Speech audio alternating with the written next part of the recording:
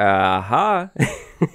I've made uh, a few new friends today, guys, and in just a moment, I'm going to stop messing around and I will show you everything in the 19W05A snapshot. My name is Wattles. Welcome. Look at this brand new Villager. This is crazy. These guys are known as the Wandering Traders, and they have some pretty fresh sandals, I must say, and a very, very nice outfit. Really, really cool. So, in this just is everything that is new or changed in the snapshot, and we will be going over all of it. Leave a like and subscribe if you enjoy this video. But I think we need to start with the brand new Wandering Trader. So here they are, just kind of standing around. From my experience, this outfit is biome independent, meaning it's always going to be the same blue robe, at least right now, no matter what biome you are in.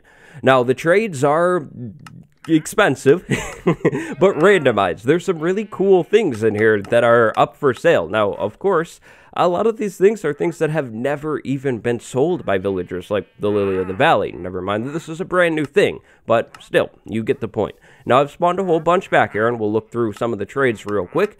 Uh, now, I have traded with the guys in the fences, and I have not unlocked any new trades at all quite yet. So, I'm not sure if these are going to have, you know, uh, other trades beyond these ones. Uh, again, I haven't really found that to be the case quite yet, but yeah, tons of randomized things as you can tell.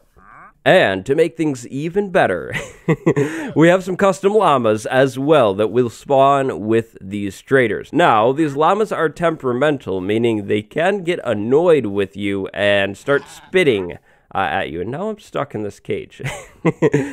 you won't be finding the wandering villager in any village. These guys will spawn randomly in the world with a pack of llamas and just wander around. If you come across them, of course, you can trade with them if you have a stack of emeralds.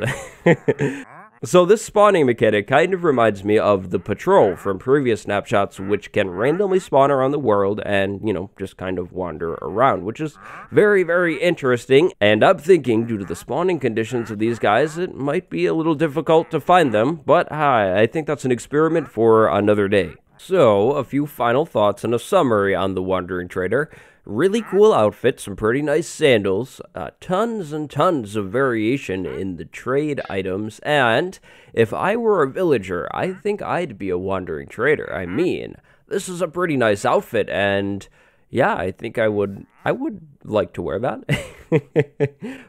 As of today's snapshot, the Pillager Beast is no more. Say hello to the Ravager. Oh yeah, it's the same thing, just renamed. Uh, definitely a more fitting, cool, and evil sounding name in my opinion.